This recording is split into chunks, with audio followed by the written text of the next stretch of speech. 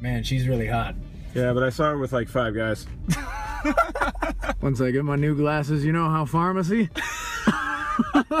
Yo, Wendy's fries ready. I had beef with some dude and I was like, oh, fuck him. Yo, I'm calling Woody, and when he comes over, should I invite him in? Ken Knapp from Connecticut. Man, you can't trust no one these days. Everybody be lying. We're out of gas, so we're sending out an SOS. Uh, I got punched in my groin. I need a medic for medic.